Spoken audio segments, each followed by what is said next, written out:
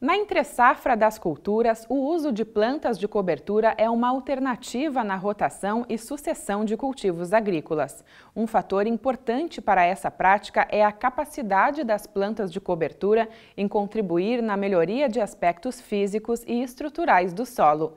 Acompanhe a orientação a seguir, gravada na região norte do estado, que traz duas espécies de plantas de cobertura que podem ser adotadas na entre-safra e apresentam resultados positivos nas lavouras.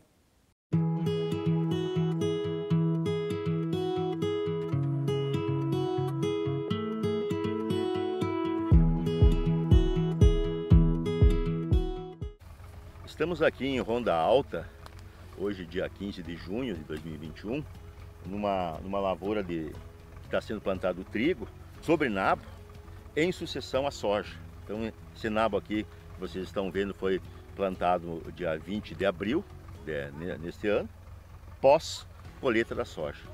Então o, o nabo está sendo utilizado como uma planta de cobertura, é uma planta recicladora também, recicla uh, fósforo, recicla nitrogênio, é uma planta está sendo cultivado, protegendo o solo durante esse período e produzindo massa seca, né, em torno de 3 toneladas por hectare, uh, pré-plantio do trigo. Nós vamos mostrar aí o produtor está cultivando o trigo sobre esse cultivo de nabo já pelo sexto ano consecutivo. Ele obteve na última safra aqui de, cultivada nesta área 70 sacos por hectare de trigo.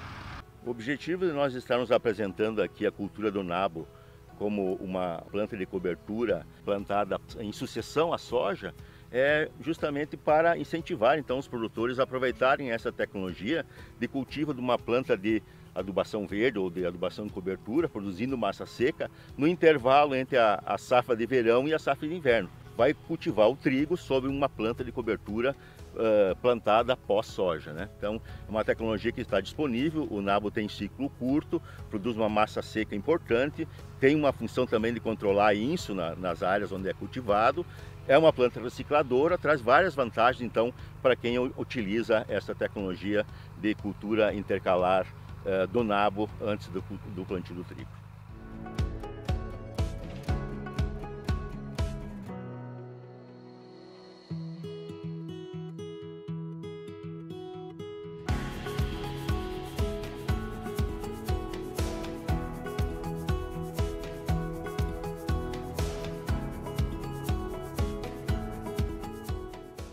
Estamos aqui na propriedade de João Paulo de Moura, em Nonoai, uh, no meio de uma lavoura de Crotalária ocroleuca, uma, uma cultivar implantada no, no mês de março de, deste, deste ano, é, com o objetivo de é, ser uma cultura é, sucessora da soja e pré-plantio do trigo ou do milho.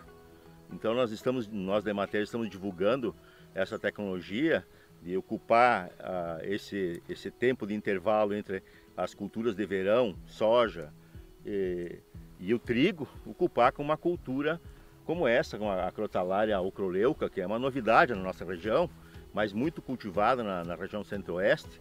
Ela é uma leguminosa, fixa nitrogênio no, no solo, uh, segundo a bibliografia até 170 sac, uh, quilos por hectare de nitrogênio.